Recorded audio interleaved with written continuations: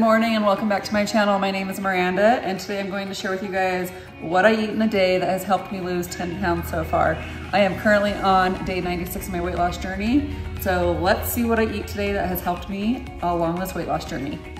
Starting off with breakfast, I wanted a sweet and savory breakfast. So I ended up using the two ingredient bagels and I did one with cream cheese and strawberries on top and the other one a egg on top and then also I had two slices of turkey bacon.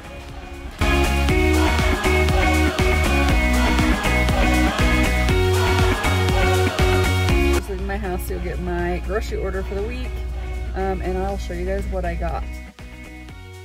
Here's what I ended up getting from Target. Um, it's not a full grocery order for the whole week, it's just partial because I couldn't figure out what meals to cook for dinner this week. Okay, so I got all the groceries put away and I'm going to have myself a morning snack. And I normally always have a Built Bar and that's what I'm having today. I'm getting ready to make me lunch today and I just wanted to give you a few tips for lunch. I spent so many years trying to make these fancy lunches and make it more difficult for my weight loss journeys. Um, but now I literally live by a sandwich, wrap, leftovers, or a salad. And that's literally like what I make normally for lunches. And I've been on a crunch Crunchwrap kick and that's what I'm doing today with the Cut Da Carb wraps. So I'll show you how I make this. Taking one of your Cut Da Carb wraps, go ahead and place it on the scale if you're counting macros. If not, just place it on a flat surface after that, go ahead and add one slice of cheese and then zero out your scale and add four ounces of turkey deli meat or any meat of choice.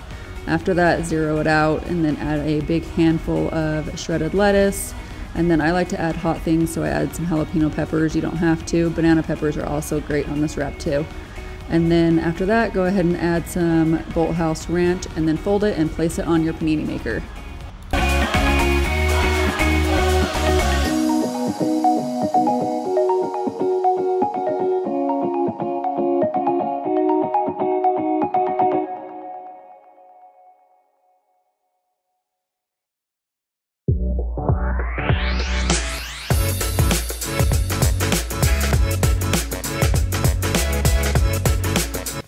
For an afternoon snack, I went ahead and did a yogurt bowl. So I added some yogurt, strawberries, and then blueberries. And then on top of that, I had some mini chocolate chips. So my dinner just got done. I made air fryer steak fajitas. I'll be using these corn tortillas and then I'm gonna put some avocado on the top too. So I will show you what they look like and I will put the macros on the next screen too. Ended the night with one of these almond butter cups.